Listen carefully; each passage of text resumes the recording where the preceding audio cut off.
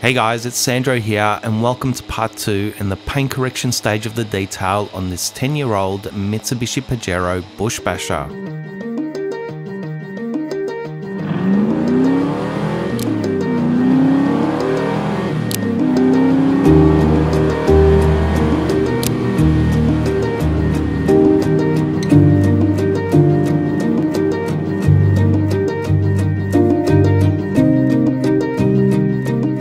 hope you've seen part 1 as I'm going to jump straight into part 2 by doing some test sections to see what combination of compound pad and technique I'm going to use to correct this paint.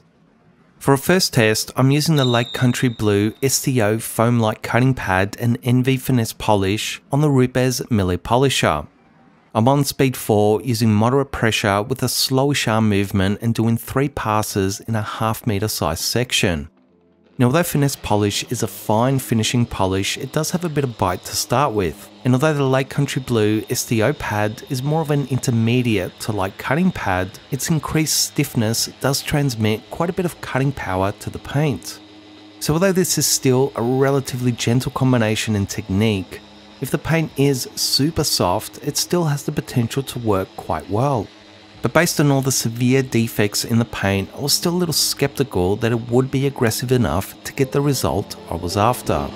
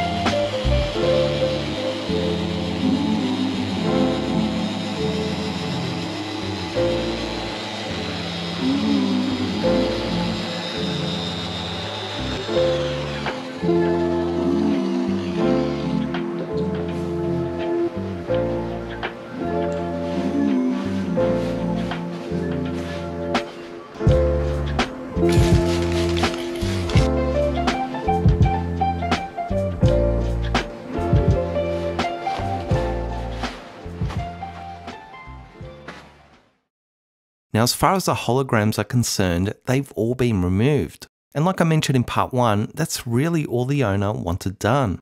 And the gloss, clarity, and saturation levels of the paint have also been significantly improved, so I guess I'm done, right? Wrong. As a professional detailer, you have to balance what your customers ask for together with your own experience judgment. That's why they come to you. So, although this is what the customer asked for, it's not a result I'm going to deliver, as it's not reflective of a professional job and not something I'm going to put my name to. So, I still need more defect removal to achieve at least a reasonable and professional outcome. For a second test, I stuck with Finesse Polish, but this time used it on the Rupes yellow medium wool pad to increase its cutting ability. I primed the pad to start with as these refined wool pads don't self-prime as well as foam pads. Used a little more product on the pad and just slightly increased my machine speed and pressure to extract a little more cut out of this section. As we have a look at the results, this was by far a better outcome. I'd say I removed about 70% of the defects compared to the last section, which was more like 40 to 50%. Now in the last section, the gloss and clarity levels were actually almost perfect. While although they are still good in this section, I can still see a touch of haze in the finish. Now as I mentioned in part 1, this is not going to be a high-end paint correction job based on time and the owner's budget. So although I'm not 100% happy with the results here, it's still a huge improvement and potentially a good way to go in balancing defect removal, gloss levels, time and cost but I still want to explore more options at this point. For a third test section, I stuck with the Rupes yellow wool pad, but this time used it with Scholl Concepts S20 Black to further increase its cutting ability and my technique and method was identical to the previous section. Now, as far as defect removal, this was pretty much what I was aiming for in my head, which was a good 80% plus removal of the existing defects. I could, however, see that there was just a touch more haze in the finish, meaning that as I'm slowly getting better defect removal, I'm also starting to slowly get not quite as good a finish. Now, the haze in this section isn't terrible by any means, more so right on the edge of what I consider to be acceptable for a quicker one step correction process. So the question here becomes do I go for a little more defect removal and live with a little more haze, or do I forego that extra defect removal and go for a slightly better finish? The truth is, I wasn't sure and I still wanted to explore more options. For a fourth combination, I switched back to the Lake Country Blue SDO foam pad, which seemed to be finishing better on this paint, but this time tried it with NV Precision Cutting Compound, which certainly has more cut than the previous compounds, but can still finish surprisingly well. I also want to add here that the extra testing you're going to see from this point on wasn't added to the time or budget of this job. I really just did it because I know this testing is helpful to a lot of you detailers and enthusiasts starting out in paint correction to understand how different paints and combinations affect results and how to judge them. And as we have a look at the results, I can definitely say that cut wise, this was actually the best so far, being a touch better than the last section, but finish wise, it also had a bit more haze and compounding swirls than the last section. So for a one-step correction process, which is definitely all the time I have for this job, the haze in the finish here just crossed over that line of being acceptable to my eyes. So what does this tell me about this paint? I can say pretty confidently that it's a softer paint, as apart from the quite severe defects, most of which have gone through the clear coat, the rest of them are coming out without too much aggression needed. And although I wouldn't say this is a super soft paint as I'm still able to finish reasonably well without too much heartache, it's definitely on the softer side as I know from past experience that this combination can finish perfectly on many hard to medium paints. For a fifth test section, I stuck with the same pad but this time used it with Scholl S2 Black. S2 Black is an extra heavy cutting compound, but in my experience, it can still finish surprisingly well. And although it usually doesn't finish quite as good as NV Precision, sometimes it's just about what the specific paint likes and responds best to. Now so far out of all these tests, this was the best defect removal I was able to achieve, getting up towards that high end 95% plus defect free result. So if I was pursuing a two-stage higher end correction, this could certainly be a winning cutting stage combination. But when I look at the finish, I can see more haze here and some increased micro marring compared to all the other sections. One last test I wanted to do was using NV Finesse on a medium microfiber pad. So Finesse has by far finished the best on this paint. And there's no denying that microfiber pads do generally offer great cutting abilities with reasonable finishing qualities. Now unfortunately, this combination was a bit of a miss on this paint.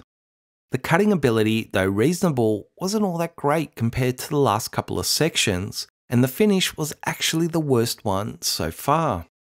I actually use microfiber pads a lot on medium to harder paints as they can be so efficient and effective on both free spinning and gear driven DA polishes.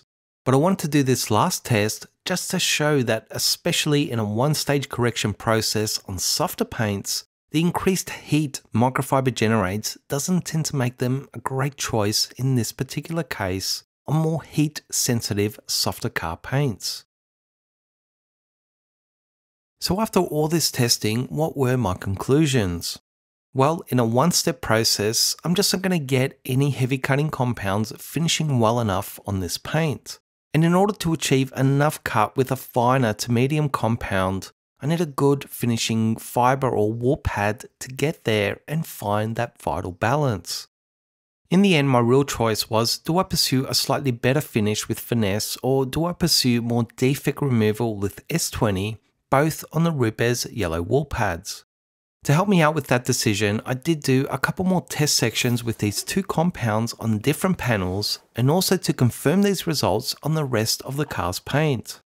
This ended up being extremely helpful in making that decision, as although Finesse did finish a touch better, the extra cutting ability I was getting from S20 seemed to be a greater factor in this particular case to achieve the best overall finish in a one stage correction process. All in all, guys, this softer paint with these severe defects just isn't a great candidate for a one stage correction process. So ideally, given that extra time and budget, a two-stage correction process here would just be so much better in achieving the best result. But in the real world, with time and cost limitations, we just have to do the best we can within these circumstances. So I'll just let the footage run while I finish off the bonnet and then we'll have a look at the results.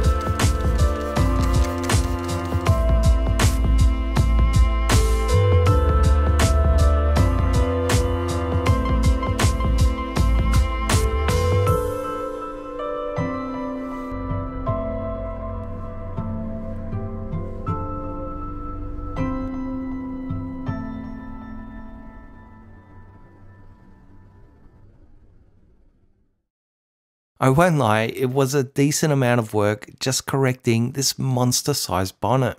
The results were by no means what I consider to be a high result.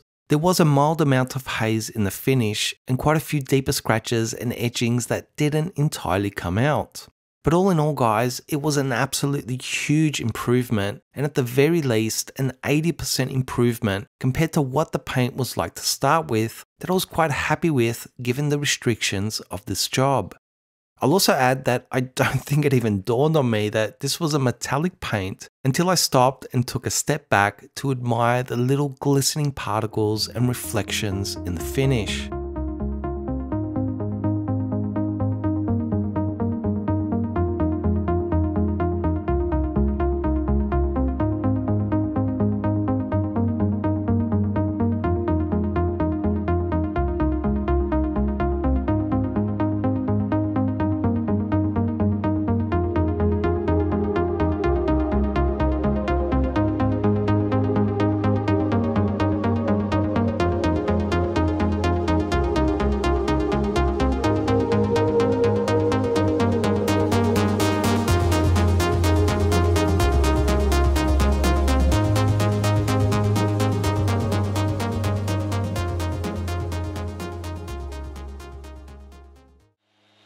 And as I get down to business and continue correcting the rest of the paint, I just want to discuss a few more points. You saw that I displayed on screen the amount of sections I did on the bonnet, which ended up being 14 polishing sections in total. I explained in part 1 how I broke down this job time-wise, which included allocating 12 hours to paint correction alone. If you start doing some calculations on how many potential sections you'll have to do on this whole vehicle, and that an average polishing set is just under 2 minutes, you'll probably come up with something like 3 hours or even less to correct this whole car, and certainly nothing like 12 hours, which is what I ended up spending in the end. So, where does all this extra time go, or why does it end up taking so long? Am I just sitting down drinking coffees all day? That would be nice, but no. What you don't always see, and would just make these videos way too long and boring, is that there's a lot of other steps and factors that eat up time during every single job. Some are predictable, while others are a bit more random. So, the predictable factors are things like blowing out pads after every set, swapping out and rotating pads, adding product and priming pads, and obviously things like wiping off compound residue and additional IPA wipe downs. You can also then add a quality control aspect where I inspect my results, and inevitably, there's always a few sections that I'll do some extra additional spot correction work. Maybe it's going over a defect that needs an extra set of passes, or maybe it's to address an area where the finish or clarity isn't as good as it should be. Add to that that certain trims can have varied paints and clear coats, which means more testing and adjustments on the fly, and little mishaps happen like product splatter that needs cleaning up, and sometimes inflicting wiping swirls that need to be repolished, and all that adds up in the end. What this really means is that you have to take something like a 2 minute polishing set and really double, if not triple and quadruple it to get a realistic time frame of the speed in which you can work in to factor in these things and still produce a quality result. Let me tell you a little story.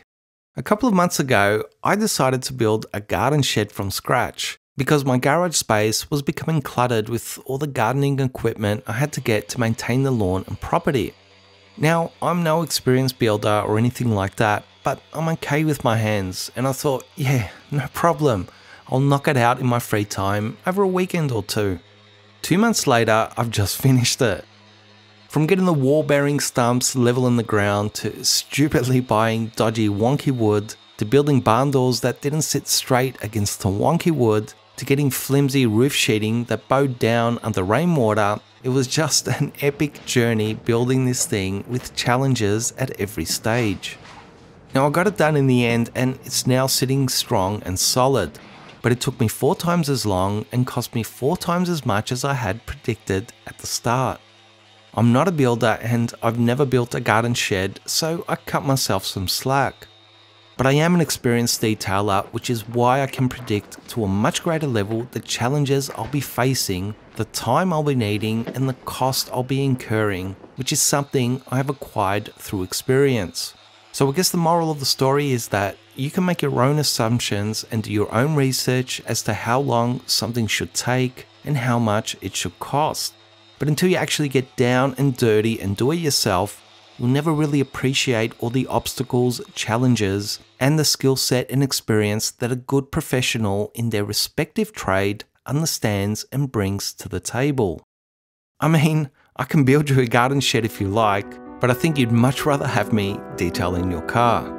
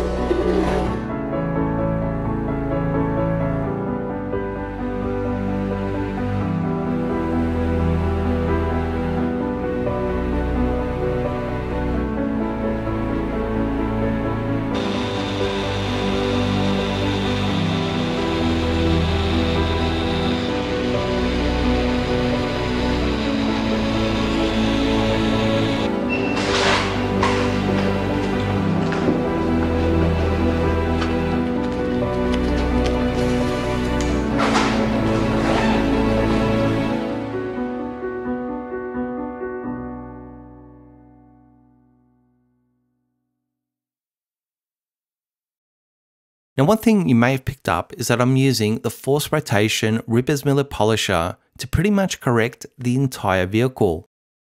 I think even to this day, after years of use, if I could only have one polisher and I was doing lots of single stage corrections, the Mille would still be my number one choice.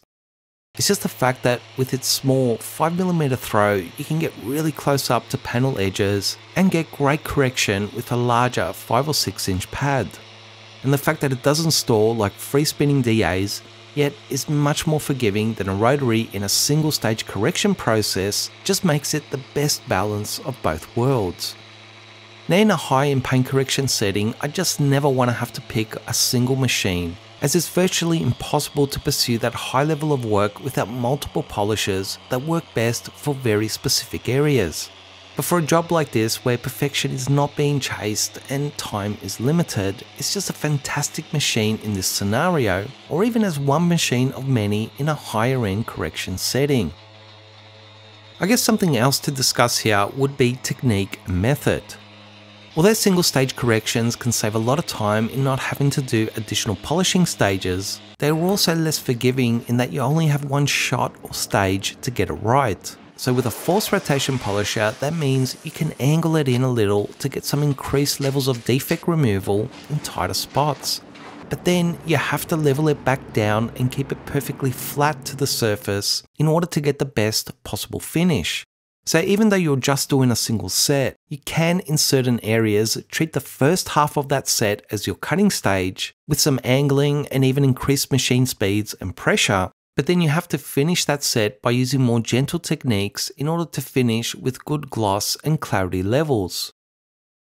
Another really important factor is the pads themselves. I love these Rupes yellow wool pads, but if I'm being honest, they don't tend to have the best durability. So making sure that you have enough pads and that they're still in good condition from start to finish is absolutely vital or your results will start to suffer. Another point here would be to clean as you go. It's simply hard not to get compound residue into panel edges and trims when you're using a single larger polisher to do the whole vehicle. When compound residue and the surface itself is still warm, it's far easier to remove. But when that residue and the surface cools down, it hardens and just becomes more difficult to clean off. So cleaning as you go can be a more efficient and effective way to go in that case. I guess one final point to mention will be the thing about not chasing higher end results is that you don't have to fuss over every little defect or pursue the best possible gloss and clarity levels. Now that doesn't mean it's okay to leave most defects in place or leave a horrible hazy finish behind, but it does mean that if it's a good improvement and finish, you've done a good appropriate job, and fussing over every little tight edge or defect just isn't possible with a limited time and budget frame. Well guys, that's just about it for part 2 of the detail on this Mitsubishi Pajero Bush Basher series. I hope you stay tuned for part 3 and the final chapter where I'll be dressing and sealing the finish as well as showing you guys the final finish results. If you enjoyed this video and would like to say thanks and help support future content, you can do so by buying me a coffee at buymeacoffee.com slash ccad in which I'll have a link to in the description box and thank you everyone for the support so far. As always, I really hope you guys enjoyed and found this video useful. Please give it a like, share it with others, and comment below to show your support for this content, and I'll see you guys soon.